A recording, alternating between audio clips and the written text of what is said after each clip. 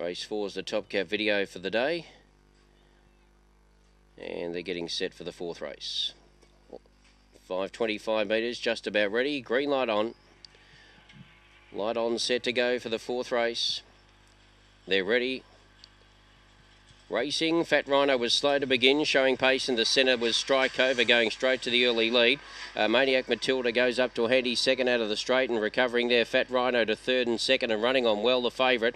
Then Fawn Regrets, further back was Red Octane, a long way back was Soda Spike. They're really strung out. Rocketing Rubies a long way back with Go Maxi, but off the back straight. And Fat Rhino took over mid race, got away three lengths to Strike Over. They've kicked 10 lengths to Fawn Regrets, but around the corner it's Fat Rhino clear and Fat Rhino too good. Strike over second, Fawn Regrets third, Mani- uh, Maniac uh, Matilda's got into uh, fourth, and then for the back was Red Octane, a Rocketing Ruby. Well back there was Soda Spike and Go Maxi, and the race time around 30.78.